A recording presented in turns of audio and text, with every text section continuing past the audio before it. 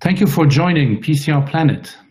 PCR Planet is where we gather news from colleagues and peers from all over the world. Today, I'm pleased to welcome Dr. Felix Mahfoud. He's from Homburg Saar University Hospital. As you know, Felix has been chairing the resistant hypertension course and, and is very active in PCR courses. And I'm also delighted to invite uh, Dr. Nicole Karam from Paris, Georges Pompidou Hospital. And Nicole is, is one of the leaders of our next generation group. So I'll start maybe with Nicole.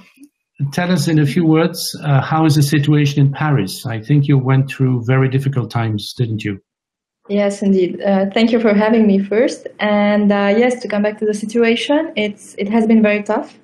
I mean, we are at a decline phase, let's say. So we had the big wave coming in the last month, uh, we had lots of patients coming over. We have to switch our, uh, we had to switch our almost our entire activity to take care of COVID. But now we feel that like we, we are at the end of this uh, of this of this big wave. We are still on a uh, plateau, but uh, it's the situation is much much better now. And so yourself, you've been you've been busy both uh, as a cardiologist, as an interventional cardiologist, but they also called upon you to to be to serve on the ICU and, and to take care of COVID patients? Yeah, so let's say as an interventional cardiologist, I've been less busy than usual because we had to, to cancel lots of uh, scheduled interventions, uh, structural or coronary, and mainly focus on emergencies. Uh, and we've had a lot of these emergencies. So I had to work on COVID patients and do angiograms on patients because they often have uh, elevations of troponin or EKG modifications. So I had to work on those patients. And so it's an entire switch in, on, in the kind of, in the type of patients we were dealing with. And during the night shifts and the call in the ICU, in the CCU, I also had to see patients who were in the COVID units and who needed some uh, cardiology consultations. Thank you. And on your side, Felix, I think we spoke, what is it, two weeks ago, and that was the moment of calm before the storm. But a lot has happened since then. Can you can you summarize that for us? What an experience it has been. Yeah, well, um, we prepared ourselves here um, for the wave uh, of COVID patients that we um, did not see in the amount we expected to see it. So that was uh, fortunate, I think. Um, um, now we have flattened the curve. We still see patients that are really sick, uh, that are treated with ARDS on our intensive care unit. But overall, um, all the measures that we implemented appeared to work. So the curve is flattened indeed. And we're picking up now our routine care, so all the elective procedures that we postponed during the um, crisis um, uh, are now coming back again to our institution and we're seeing patients for elective, so-called elective non-urgent procedures, PCI, valve implantations, and other uh, interventional mm -hmm. procedures. And that's quite demanding because we now see COVID positive patients and we see patients that we want to prevent from the infection. Mm -hmm. So that's quite um, a challenging organizational issue. So a new a new organizational challenge after you know dealing with with the previous one. I just want to come back for a moment to the period where it was calm. Of course, Homburg Saar is close to the uh, to the to the border, French border, and you were very close to the east, of course, where the pandemic has been very severe. So um, I want I want you to to tell us a bit about uh, the decision that you have made with your team to actually treat and transfer patients uh, coming from France.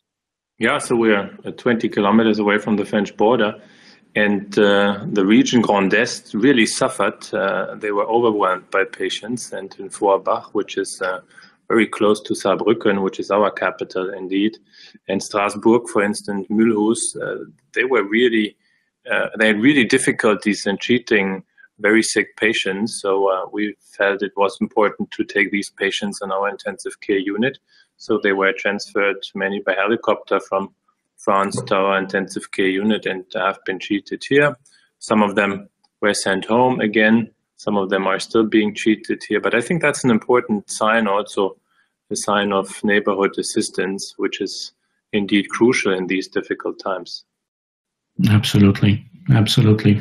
So I'm turning to Nicole again. Um, you you also are in a position where you're going to restart some of your elective or relatively elective activity while at the same time, you know, caring of COVID plus patients. How do you see this um, going forward um, practically?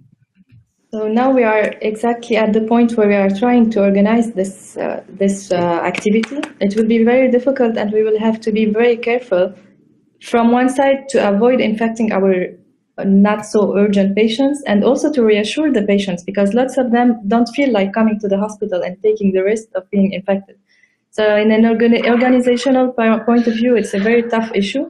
We are trying. At the beginning, we had split our activity and used some of the rooms of the cath lab for COVID patients, some others for COVID-free patients. And we did the same with the hospitalizations ward. And now it will be very difficult to make sure that the patients, because we weren't bringing the patients to the hospital, but now that we are doing this, we'll have to make sure that they won't get infected. So we'll have to probably test more patients and be more careful, careful on seeing, on finding those patients who are, who are supposed to be COVID-free but were actually infected. So we are working yeah. on that too. At the same time, uh, I think it's it's becoming urgent to yes. deal with you know the backlog of patients. I think um, mm-hmm. uh, some colleagues have mentioned that they have seen um, late late presenters, you know, all sorts of of uh, disease presentations that you you would not see uh, normally in normal yeah. circumstances, right? You, you, is that your experience as well? That's our experience, and that's why we are having the feeling that it's becoming that we pushed our limits. I mean, we we have rescheduled lots of procedures, but now we see that this is the time where we have to resume our activities. I mean, we've had one death in, in our waiting list for TAVRs. I mean, it was a sudden death, so we never know when those happen. But now we know we have also we had also patient coming back for heart failure because they are waiting for a mitral clip or for a mitral, uh, mitral intervention. So we know that now it's time to resume those activities.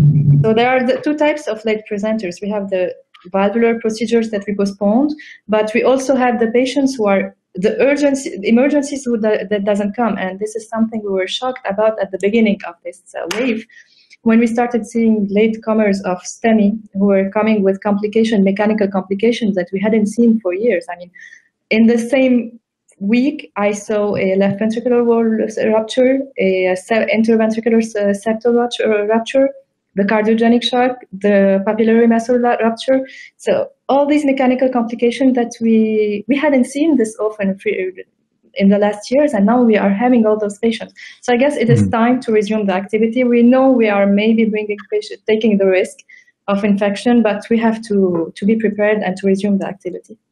Mm-hmm. And these are, if I may, if I may say that, William, these are these are COVID victims too. I mean, they are obviously not mm-hmm. infected, but as they fear to get an infection while being in hospital, they are not mm-hmm. showing up for a procedure. They are not showing up because of, of symptoms, chest pain, yeah. dyspnea, whatsoever. So, you know, to some extent, these are also patients that die because of the pandemic, although they have not been mm-hmm. infected. And it will be very interesting to see the statistics at the end how many mm-hmm. patients die from cardiovascular diseases that would probably not have died in case the pandemic would not, you know, have distracted them from coming to the hospital. Mm. Uh, well, we did this kind of work to try to see who were the, what's what's happening in Paris a little bit, and we were surprised to see that we had almost a doubling in the rate of out of hospital cardiac arrest. Yeah. So probably there are some COVID in those patients, but most likely there are lots of patients who should have been in our hospitals during yeah. these times and who weren't. I don't know if you had the same experience, but we almost have haven't seen much patients during uh, much STEMI patients during this period. Yeah. I mean, we had like a 75% reduction in STEMI rates. Significantly decreased here too. Yeah. Yeah. Yeah. yeah. So, uh, Felix, let me let me ask you a bit about your your both of you, and and, and certainly in, in your environment, you're passionate about research, and you have many many patients enrolled in trials and ongoing trials. Um, how to deal with it. When do you think you can start enrolling again? Um, it seems like a, a difficult uh, equation to solve, right? Absolutely, very challenging. Uh, I think the, the, this has a couple of dimensions. One is that we stopped recruitment of course, in the in the uh, trials and most of the trials that we're doing here at our institution. But we have recruited patients and we randomized patients that had scheduled a visit, a follow-up visit during the pandemic, and it was very unclear whether or not we're allowed to see these patients for scientific purposes in the hospital during the shutdown. So, you know, that will be challenging for data interpretation at the end, particular when it's when the outcome, the primary outcome is not related to death or alive, but to a continuous variable such as heart rate, blood pressure, six minute walking distance, an echo imaging, you know, then we have really issues that later on when we interpret the trials that were uh, enrolling patients during this difficult period, we will see lots to follow-ups and we will have to handle all these um, mm. these lags in, in, in, the database and uh, we need some guidance. I think that's uh, that's very important at the moment. So we need guidance not only from FDA and EMA, which has been published already, but we need guidance from the community, from clinical researchers, how we should deal with this scientifically but also from an interpretation perspective, from a publishing perspective, from an analyzing perspective, and how we deal with these patients that are enrolled in trials. Certainly, what I can say from our side now is that we are seeing these patients again. I think that we have a responsibility, also ethically, for patients that have been randomized in a sham controlled or in a in a in a controlled trial, in a randomized controlled trial. So we have a responsibility for these patients too. And I think we have to take it very serious and to do everything possible to get these patients in hospital, of course, with all the standards that we're applying now here. But um, it's it's really challenging, and I'm curious to see how other sites are handling this issue um, during uh, this difficult time. Mm-hmm. Would you agree with with a statement like this that you know let's resume activity clinically only first and once we you know we have a couple weeks or maybe a couple months or two of of normal activity streamlined then restart including enrolling in trials? Or do you think uh, you want to yeah. be more aggressive and restart as soon as possible? So i think that depends locally on um, the measures that are, are being taken. So here the social distancing, so the shops are opened again since Monday, and we're expecting to see more patients because R zero will go up. That's at least what our epidemiologists are telling us. I think we have to wait for a couple of more weeks to see how things are going, but um, surely, but slowly, but surely, I think we have to pick up research activities as well. Mm-hmm. particular in conditions where research is really crucial. I mean, if we do research activities that you know are important not only scientifically but also clinically for patients, I think we have good reasons to continue research in these um, uh, circumstances as well. Well, thank you. These are very thoughtful um, uh, considerations, and thank you for sharing them. Um, we're going to bring this uh, nice conversation to uh, to an end, but before doing that, I'd like to thank you for you know sharing your experience and, and everything you told us. Um, to finish, uh, maybe Nicole, uh, first, uh, would you have a key statement or something you really want us to remember, or something, some personal experience that that you would like to share with with the colleagues? Again, what what I would like to share is what what I've been thinking about during these last few weeks. So I guess this experience will be a very very humbling experience because what what we've learned is that we are not this this almighty and that all the systems that we know can just vanish in like few few hours. I mean, one day we come to the hospital, we're working normally, and the next day nothing is the same. So it's humbling, but it's also interesting to see how how able we are to adjust to new situations and how things can turn positive if we do it. So it's always been like a, the major quality of the human being, and I guess we just proved that we are still able to adjust and still able to work, even though it's very humbling to see that we have very very sharp limits. Thank you. Great message, Felix. Yourself. Well. Um this whole pandemic nicely showed us how fragile our environment is and um, how connected we are. Indeed, um, we're getting through this, I'm very sure.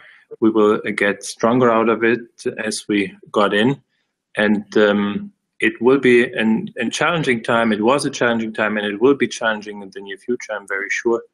But uh, if we stand together, we'll make it, and um, we'll make the best out of it, and uh, particular, we'll make the best out for our patients. Well, um, thank you so much for joining, and I'd like to thank all of you for uh, for listening. And uh, let's stay connected. Thank you. Thank you. Bye bye. Thank you, William.